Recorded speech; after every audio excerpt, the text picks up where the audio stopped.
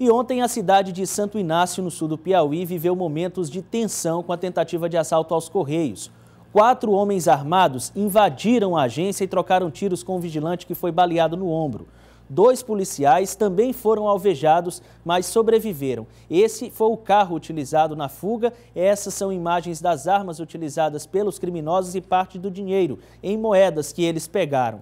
Um dos bandidos terminou morrendo na troca de tiros e três foram presos. Você vê agora as imagens da viatura da Polícia Militar, da Força Tática, conduzindo os três suspeitos que, após perseguição e um cerco policial, terminaram presos.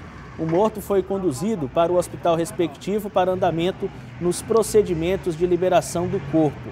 Os três, então, já estão em poder da polícia e o momento em que eles chegavam à delegacia para os procedimentos legais. Uma tentativa de assalto frustrada, portanto, pela ação da Polícia Militar e também do vigilante que bravamente resistiu e conseguiu balear um dos criminosos ainda dentro da agência.